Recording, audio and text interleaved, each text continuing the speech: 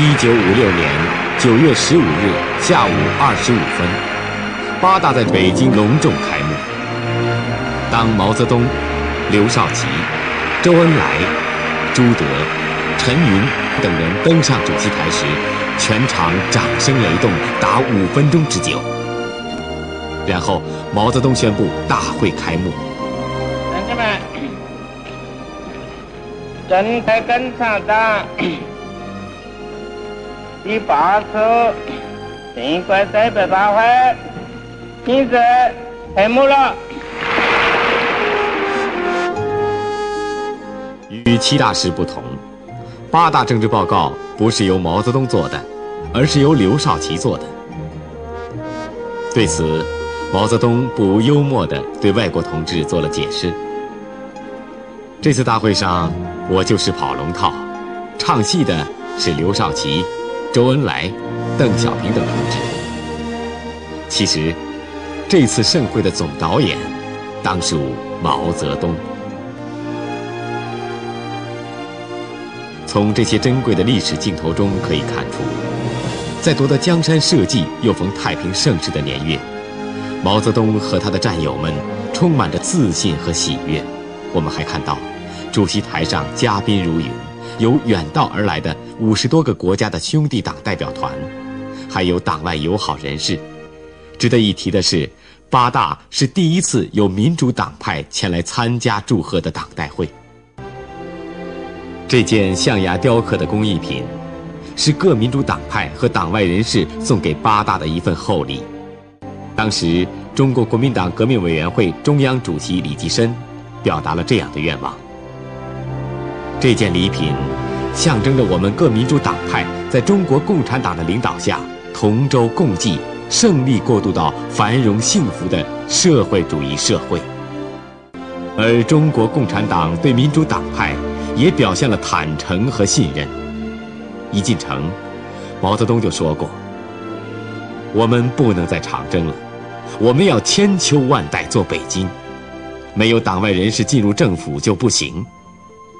一九五六年，他还说过：“共产党万岁，民主党派万岁。”也就是共产党和民主党派长期共存，互相监督。现在，他们就一起坐在这个庄严的会场里，共商建国大计。我们。这次大会的任务是总结一次大会以来的经验，团结全党，团结国内外一切可能团结的力量，为了建设一个伟大的社会主义的中国奋斗。毛泽东充满激情的话语。表达了中国共产党人的雄心壮志，引起了与会者的共鸣。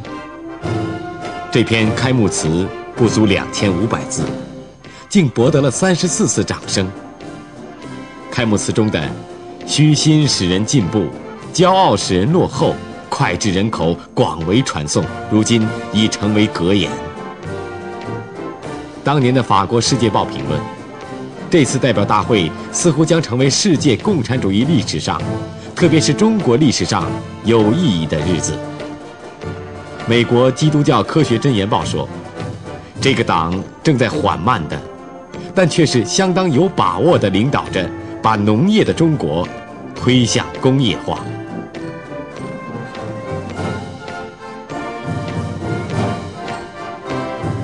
一九四五年。毛泽东在延安中央大礼堂的七大会场上说过这样一段话：要准备革命转变，夺取像北平、天津这样的大城市，我们一定要在那里开八大。有人说这是机会主义，恰恰相反，八大如果还在延安召开，那就近乎机会主义了。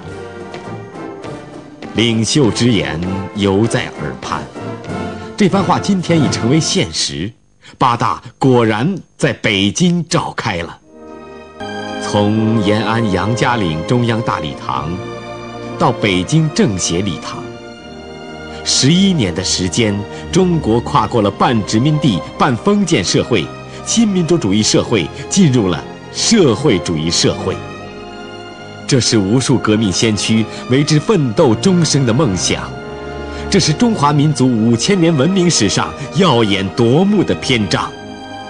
站起来的中国人民，在短短几年内抚平连年战争的累累创伤，用勤劳的双手开始勾画新中国的蓝图。建国初期那些岁月，给人们留下最美好、最深刻的回忆。五十年代初，当中国共产党准备尽快为年轻的新中国建起一座和平安宁的大厦时，中国人民又面临一场威胁国家安全和近邻朝鲜民主主义人民共和国存亡的战争。中国人民志愿军雄赳赳气昂昂跨过鸭绿江，进行了伟大的抗美援朝战争，并最终赢得胜利。这个胜利空前提高了中国的国际威望，为新中国的经济建设和社会改革赢得了一个相对稳定的和平环境。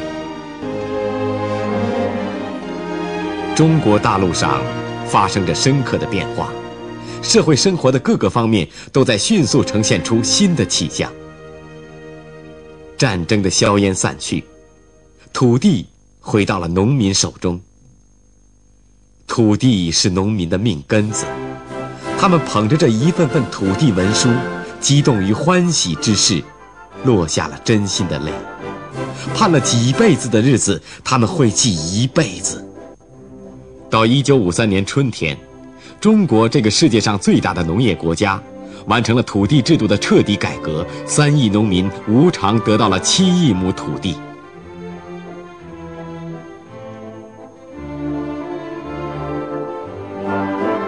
在农村生产关系变动的同时，农业生产条件也得到了极大的改善。大修水利的成绩最为突出。仅以治淮为例，两千万人组成的治淮大军，奋战三年，筑起可绕赤道四十三圈的长堤。也正是在百废待兴和扬帆起航的那几年，新中国的工业建设。迈开了大步，工业布局开始得到改善，交通运输事业迅速发展。东北老工业城市鞍山矗立起新兴大型轧钢厂，内地新工业基地动工，西南重庆与成都之间开通成渝铁路，万里长江飞架贯通南北的武汉长江大桥，西藏与内地连接起康青新藏公路。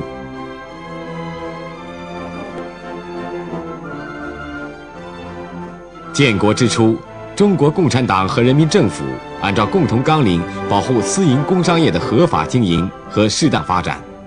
一方面开展了“三反五反”运动，打击了不法资本家严重的五毒行为；另一方面扩大加工订货和代购包销，保证合理利润，使资本主义工商业继续有所发展。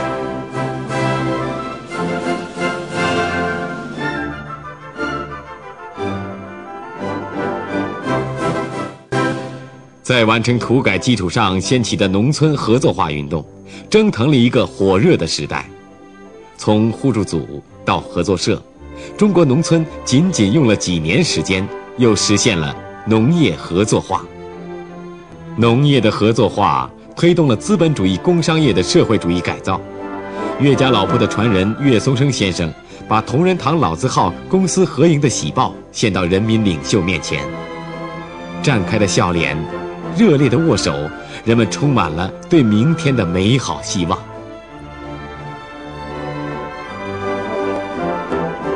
在基本完成对农业、手工业和资本主义工商业的社会主义改造的1956年，第一个五年计划的主要指标大都提前完成，工业生产所取得的成就远远超过旧中国一百年。新中国为知识分子施展才能提供了广阔的空间。如今，许多白发苍苍的科学家就是建国初期从海外回来报效祖国的。他们还记得，周恩来总理在知识分子问题会议上郑重宣告：我国知识分子中间的绝大部分已经成为国家工作人员，已经为社会主义服务，已经是工人阶级的一部分。社会主义建设要依靠工人、农民、知识分子的兄弟联盟。新社会带来了新生活，新生活充满着新风尚。处在那个千变万化时代中的人，差不多都能从“新中国”三个字中读出历史的内涵。整个1956年，是人们心情舒畅的一年。此时，在中国，重新安排河山，迅速改变几百年来的落后面貌，不再只是人们的愿望，而且具备了实现的条件。在那个时期，从世界范围来看，也有几件大事对八大产生了不可忽视的影响。八大的国际形势，这整个趋向缓和。从整个来看呢，当时的形势有这么三方面的情况：一个嘛，就是社会主义国家整个都稳固下来了，开始了这个集中力量搞社会主义经济建设；一个就是亚非拉的民族独立运动啊，已经取得了决定性的胜利，殖民主义体系啊。去崩溃，去崩溃或者趋于瓦解。那么西方国家，当然美国稍微不同一点，但是整个来说，一直好在战争床上，开始了，呃，致力于经济发展。所以全世界在当时出出现了这样一种情况，就是一方面是一种缓和、稳定、和平的局面，另一方面是一个。经济高速增长时代的到来，当时啊，确确实对我们是有难得的机遇。第二次世界大战结束后，用于和平目的的科学技术飞速发展，为新生产力的飞跃开辟了前所未有的前景。当时，中共中央就密切注视着全球开始的新工业革命的潮流。毛泽东在八大预备会上说过这样一番很有远见的话：“我们计划三个五年计划之内。”造就一百万到一百五十万高级知识分子。那时，党中央委员会的成分也会改变，中央委员会中应该有许多工程师，许多科学家。他希望将中央委员会变成一个科学中央委员会。面对一日千里、突飞猛进的现代科学技术。周恩来在一九五六年一月召开的知识分子问题会议上，提出向现代科学技术进军的口号。会后，国务院成立了科学规划委员会，历时数月，制定出今后十二年科学技术发展远景规划纲要，并付之实施。也就是在这个时期，国际共产主义运动。发生了重大事件。一九五六年二月，苏联共产党举行了第二十次代表大会，赫鲁晓夫在这个会上做了一个关于个人崇拜及其后果的秘密报告。这个报告在全世界引起了极大的震动。帝国主义利用这样一个机会，进行了反对共产党、反对社会主义的浪潮，在人民中间。造成了极大的思想混乱，给各个共产党也带来了很大的困难。中国共产党认为，对于斯大林的历史功过，应该做全面的历史的分析。同时认为，反对个人崇拜，有利于破除斯大林和苏联经验的迷信，从教条主义束缚当中解放出来。根据中共中央政治局的讨论，《人民日报》在一九五六年四月和十二月，先后发表了关于无产阶级专政的历史经验和再论无产阶级专政的历史经验两篇文章，阐明了我们党的原则立场。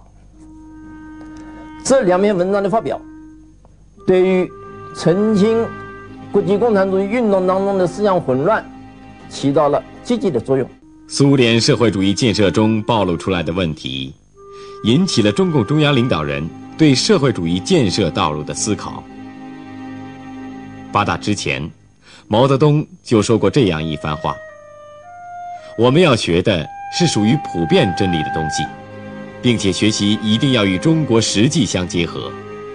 如果每句话，包括马克思的话，都要照搬，那就不得了了。”最近，苏联方面暴露了他们在建设社会主义过程中的一些缺点和错误。他们走过的弯路，你还想走？八大召开前夕，刘少奇也对一个东欧国家的代表团说：“社会主义制度也有它的缺点，必须不断改正和完善，使它更适合于各民族经济和社会的情况。”针对苏联社会主义建设中出现的问题。毛泽东提出以苏为鉴。从1956年春天开始，他率先对中国自己的社会主义建设道路进行探索。1956年4月，毛泽东发表了著名讲话《论十大关系》，提出了中国建设社会主义的新思路。《论十大关系》成为起草八大文件的指针。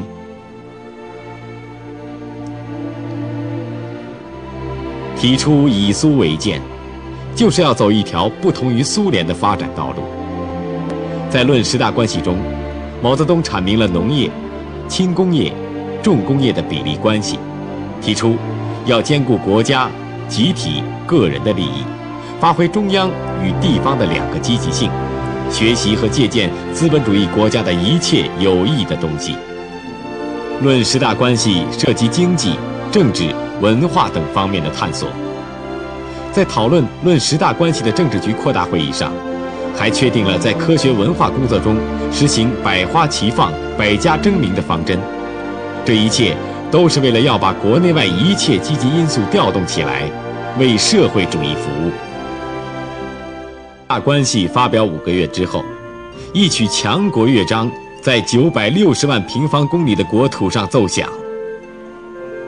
八大关于政治报告的决议中明确指出，我们党已经领导取得了对农业、手工业和资本主义工商业的社会主义改造的全面的决定性的胜利。这就表明，我国的无产阶级同资产阶级之间的矛盾已经基本解决，几千年的阶级剥削制度的历史已经基本上结束。社会主义制度在我国已经基本上建立起来了。从八大上刘少奇的政治报告，邓小平关于修改党章的报告，周恩来关于发展国民经济第二个五年计划的建议的报告之中，从朱德、陈云、董必武等一百一十三人的大会发言之中，我们可以把八大的正确决策归纳成这样几条。八大的正确决策主要表现在四个方面：一是八大做出了党的工作重点转移的决策，明确指出国内的主要矛盾已不再是工人阶级和资产阶级的矛盾，而是人民对经济文化迅速发展的需要。同当前经济文化不能满足人民需要的状况之间的矛盾。党和国家的主要任务是集中力量发展社会生产力，是在新的生产关系下面保护和发展生产力。二是八大坚持了既反保守又反冒进，即在综合平衡中稳步前进的经济建设方针。三是八大还做出了加强人民民主专政、健全社会主义法治。和进一步扩大社会主义民主的决策。四是八大着重提出了执政党的建设问题，强调要坚持民主集中制和集体领导的制度。在这次大会后，增设了几位副主席，成立了以小平同志为总书记的中央书记处。重温四十多年前的人和事。我们感到八大犹如一块玉石，从历史的远处闪烁着耀眼的光芒。开创了历史新局面的中共第一代领导集体，那是准确把握着中国的脉搏。他们的风采，他们的思想，他们的讲话，使人如沐春风。